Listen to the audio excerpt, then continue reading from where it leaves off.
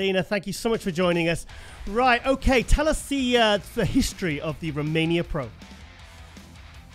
Uh, our first edition actually happened in 2018, took place in 2018, mm-hmm. and then um, so this is going to be our third edition. Yep. Uh, it had a huge success in that part of the uh, of Europe, in Eastern Europe, you know, and I think that um, it's a uh, close proximity with the um, Arabic countries. So most of the time, so you have a lot of uh, people coming from, uh, you know, the Arabic countries and mm-hmm. a lot of the European athletes as well. You know, for economical reasons, sometimes it's much cheaper to to compete in an area like that. Uh, our show um, gets uh, the overall in the NPC worldwide portion. The amateurs they get a pro card, and the winners of the pro divisions get an Olympia qualification.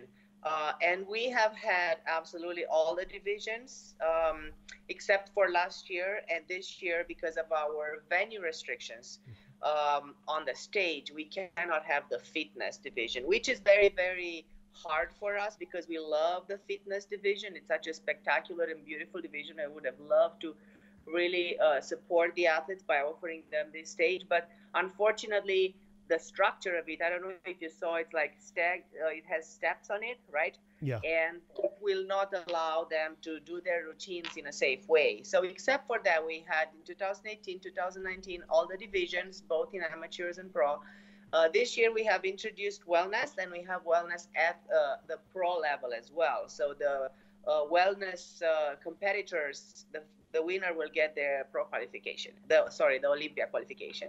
Wow. So is the wellness going to be at the Olympia in 2021?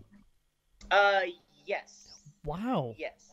I imagine since it's uh, yeah. on our stage and it makes it produces winners and uh, yeah. right oh wow, that's huge news. I mean, I've really because I mean the wellness has been around in the kind of European, as you know, in uh, some some amateur events for sort of quite a while. But um, to hear that it's coming over is absolutely fantastic. Yeah, it's really exciting. Obviously, I'm not speaking uh, in the name of the Olympia, even if I wear my jacket from the day back in the days when I was competing. Hmm. Um, but uh, it makes sense, right? The fact that we have it at the pro level, and there were not a lot of shows, a lot of pro shows that had the wellness division this year. This year, hmm. so the fact that we have it just proves that you know the winner probably will go to the Olympia. Yeah.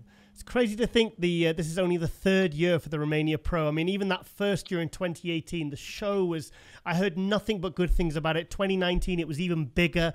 So it's uh, yeah, it's really picking up momentum, isn't it? As far as a as a, as a huge, in, not just a European base, but an international pro event. Yes, absolutely. Um, we we we like to see the you know the the, the show caught up really fast and. Uh, the the production that we put together with Tim Gardner there was uh, very much appreciated, and the athletes loved it. Mm-hmm. Uh, last year, we moved it to this spectacular venue. It's called the Face Convention Center. Uh, and I do hope that maybe you're going to be there at one of the editions. I really want to be there this year. Really hope so we have all of those LED screens left and right everywhere. They are as big as life, mm-hmm. and um, that gives you an immersive feeling, right? So the audience, like, and the audiences and the athletes really, really get the feeling of really a festival. It's a, it's really a fest. yeah. So what's it's what... just beautiful. Uh, we are trying we are trying to expand in a bigger location. The same uh, the same company is trying to build a bigger one because this is the problem that we had last year. Mm-hmm. Um, we we realized that the amount of athletes and the amount of public that we attract with the show uh, is actually not going to easily fit in that location. As a matter of fact, if wow. COVID didn't happen, we were we were planning to have tents outside to expand the backstage area. uh, Wow. Yeah, that w- we would have done it, but this year because we do not have the expo, mm-hmm. um, we will allow the athletes to have that area that would have been the expo to have their backstage. Mm. Uh, tracing back a little bit, the same company is getting ready to uh, build another location on the, with the same parameters and quality and bigger. So we are hoping to be able to move that with the following years over there, and also welcome the fitness division too. Oh, I was, I, I was just interviewing actually a, a competitor that was uh, was quite disappointed you weren't doing fitness, and I, I remember you saying in, in an interview last year saying that uh, the size of the stage it wasn't suitable for fitness competitors, but it was it was something that you really were wanting to include in the future. Yeah, absolutely. Again, as soon as we get a bigger stage and everything, you know, uh, we, we're going to have the, the fitness uh, competitors on our stage as well. Great, great. So, what have the entries been like in terms of uh, across all the divisions?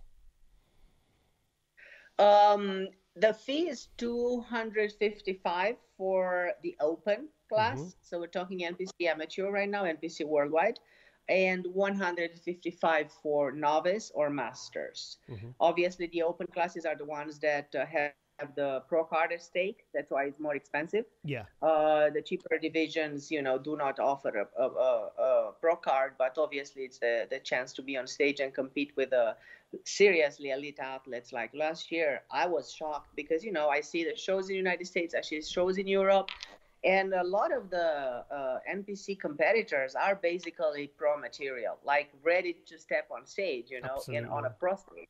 Mm. They are amazing. You know? And obviously, Europe is catching up a little bit, you know, uh, since the federation just expanded there two years ago. So we're trying to get all those good athletes, you know, get them mm. the pro hmm. cards, get them to to start playing, you know, at a higher level, a bigger level. Can you throw me any names who've thrown their hat into the ring for the pro shows? Can you repeat that, please? Can you throw me any names of anyone who's thrown their hat into the ring for the pro events? Any competitors? Well, I mean, from as far as I have seen, all I see right now is what I see on social media. You know, mm-hmm. I know mm-hmm. that Regan Grimes is going to be there. Yep. Uh, Angel Calderon is going to be there. Awesome. As far as male bodybuilders are concerned, um, you know, and a lot of other athletes. That's right. But of course, it's a, a lot of other great athletes. Yeah, but um, but of course, this is an opportunity and an early opportunity for the athletes to comp- to uh, qualify for the 2021 Olympia. Absolutely, yes. This is a great opportunity to qualify for 2021. As you know, the season in 2020, the qualification season ended in uh, October 18th with the Chicago Pro. Mm-hmm and everything that was after is going to qualify for 2021. Um, but yeah, I think uh, you know we have a lot of the competitors that actually qualified at Romania Muscle Fest last year, and uh, we are hoping that uh, you know they will make it uh, in the United States to compete uh, at the Olympia. Yeah, so fantastic. So where can people get tickets? Unfortunately, due to the local COVID regulations, we are not allowed to have uh, public. Any public? Any public. So oh. uh, I'm going to run you a little bit through the Romania situation as we are facing it right now with the COVID. And I know that this is very important for a lot of people who plan to travel and athletes and so on. Romania is, as you know, like right now, Europe is going through a little crisis again, big crisis. Things are somehow starting to shut down. We are very confident that nothing is, is going to shut down entirely like it happened in April. But what is happening is that the private events, uh, entertainment events are not allowed in Romania. International sporting events mm-hmm. are allowed to take place without public. So it is uh, this is our only door that is still open, our only door that we can still organize it legally and not be aware that you know that we're going to shut down. Mm-hmm. But we have to, of course, respect all the regulations, and one of them is no public. So I'm allowed to have the athletes backstage and their coaches uh, you know, the media will be there, but other than that, the staff, obviously, other than that, I cannot have any public at all. So what about um, what about the people who want to watch the show? What any live stream details you can give us? Yes, we are preparing a pay per view right now. I'm actually uh, these days I'm in touch with the with the technical team, and uh, we are preparing that, and we're going to have it ready for everybody who wants to watch it. Oh well, that's fantastic news because uh, I mean Alicante did such a great job with their their live stream. You know, it was such a it was so beneficial. I mean, I believe I heard that they had twenty thousand people signed up to that live stream. So it it shows that there's big audiences for these shows that that you know otherwise can't if they can't attend they can otherwise get it on online. You know. Yes, absolutely. We are.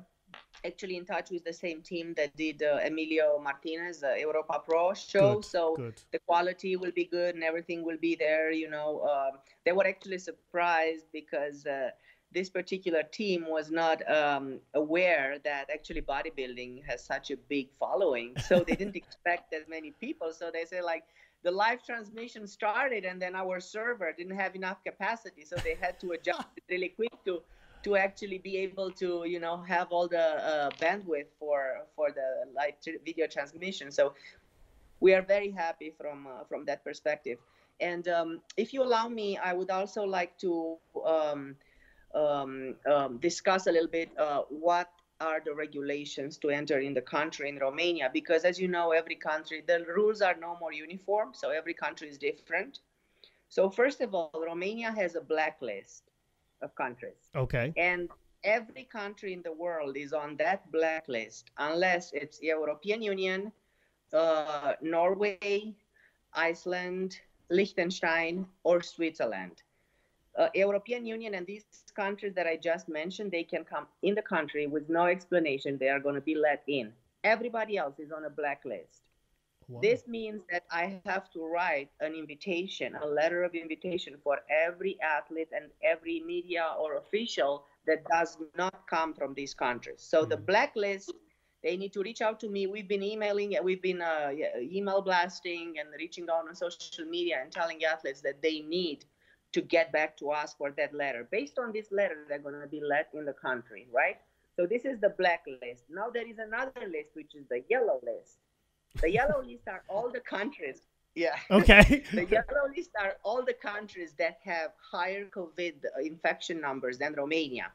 They are about 30 right now on that list. Well, these people that come from these countries, they have three options: come in the country and quarantine for 14 days come in the country, quarantine for eight days, then take a test. If it comes out negative on the 10th day, they can come out. The third option, which most of the people will do, come with a negative COVID test, which would be done 48 hours before leaving their country, and stay in Romania only 72 hours. This is the exception, so they don't have to quarantine. Okay. Right? So all of the athletes that come from outside the European Union, there are not a whole lot of them, but the Arabic countries, for example, are right. So they need to observe.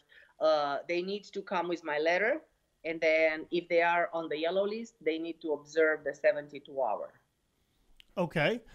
Well, I think full credit has to go to you and your team because I mean to be able to pull this show off and not postpone or cancel entirely I think that's really uh, it's, a, it's, um, it's it's full credit to you guys for you know carrying on with it and uh, making sure that the show keeps growing and keeps on prospering. You know because.